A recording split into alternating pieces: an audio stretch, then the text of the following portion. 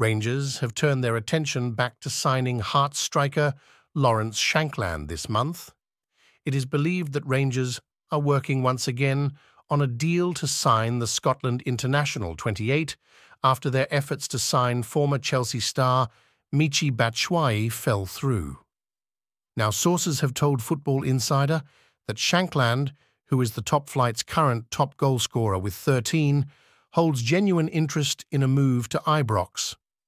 Rangers are back in talks over a potential deal as they look to sign another forward before the window shuts. He has been frequently linked to a transfer to the Glasgow Giants amid his excellent form in recent seasons for the Jambos.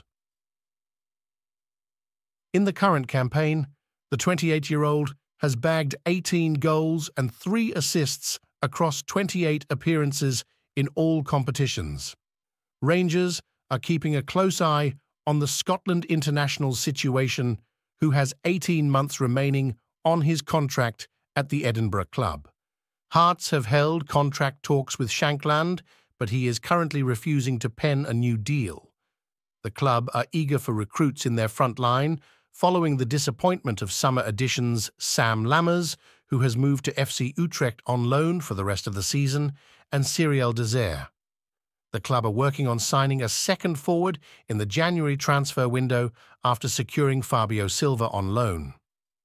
Rangers sit second in the Scottish top flight and will face Dumbarton in the Scottish Cup on 20th January after the winter break.